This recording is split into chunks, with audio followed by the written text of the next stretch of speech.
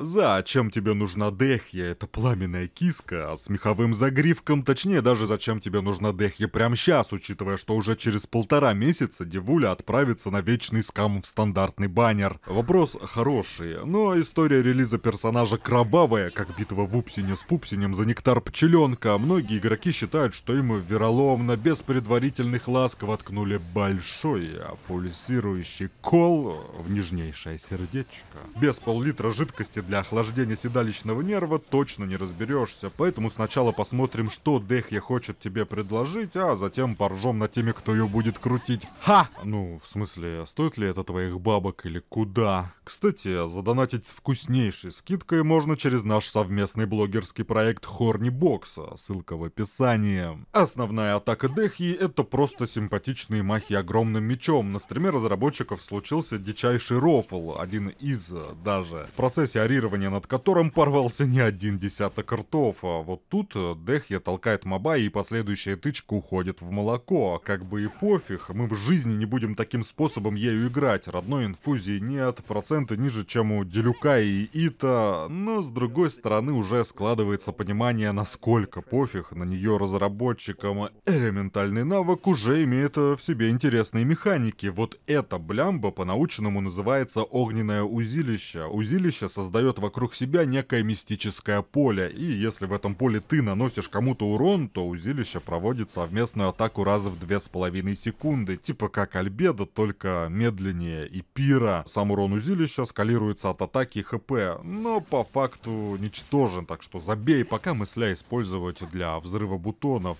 об этом в другой раз. Однако, в самом поле у активного персонажа повышается устойчивость к прерыванию атак, это прописано и в скилле, и в пассивке. Что актуально, ведь какие-нибудь сайны, странники любят прилечь отдохнуть. Плюсом, что вот самое интересное, входящий урон распределяется между активным челом и карманной дехи, на десятом уровне навыка пополам. Ну типа вот бьют хутау, а здоровье теряют обе, но в два раза меньше. Лол. Это не кринж, ведь э, кринж это миф, и сама Дехья в итоге частично отхиливается своей пассивочкой. Естественно, чем выше хп Дехи, тем больше она может отвести урона от получающего лещей персонажа. Узилище исчезает на время ульты и последним ударом становится вновь, также его можно переставить ешкой. При этом распределительный урон по Дехе снизится на 60%, короче жить будет. Активирует функцию крушить едальники, в теории Дехья своим ультимейтом обещается 11 15 ударов за 4 секунды. Удары считаются за ультимейт, то есть с ними не работают приколы синего, елани, далее бейдоут, c6 фишель. То есть, если хочешь а, работать через ультимейт,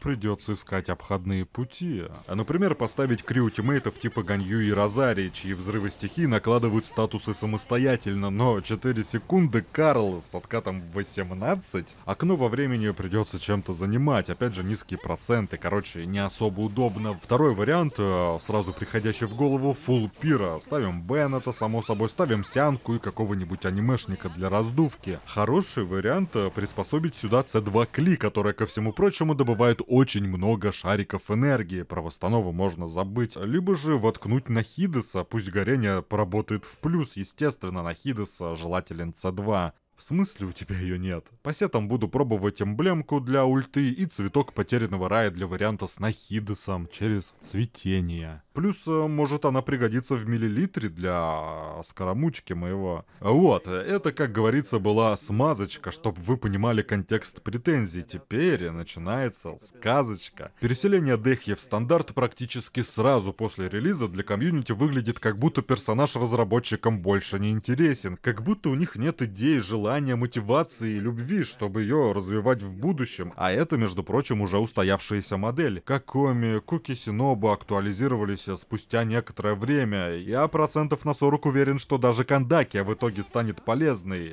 Выходят новые артефакты, новые сигнатурные саппортики. Вон даже Сяо после форсившихся годами мемов о слабости сейчас выглядит вполне достойно. Но в Дехью после таких финтов особо не верится. Второй негативный момент заключается в системе 50 на 50. Дехья для большинства людей будет символизировать проигрыш в баннере, и реагировать на нее будут как на проигрыш со всем вытекающим психологическим дэмиджем. А учитывая, что она и не совсем сильная, может быть даже не уровень Дилюка. АПК, ну это, кстати, надо будет посмотреть потом. Да, она симпотная, просто ангел по лору, уже даже стала символом благотворительности в Китае. Ее можно пристроить в несколько отрядов, но в качестве доп. статуса получается и альтернативы щиту, причем не особо выгодные альтернативы. Агрессивная ульта, которая буквально кричит о пробивной мощи, это постукивание киской лапками без когтей. Их, ну, этих постукиваний в целом будет достаточно для аннигиляции мобов, но, сами понимаете, брать Ламборджини с начинкой от Приоры, это, ну, на это требуется определенная смелость. Я ее выбил, можно сказать, по вайфу фактору. В отряд буду ставить для такой luxury диковинки и приятного визуала в путешествиях по пустыне. Когда найду за что, буду вылизывать, нахваливать, а пока у меня все я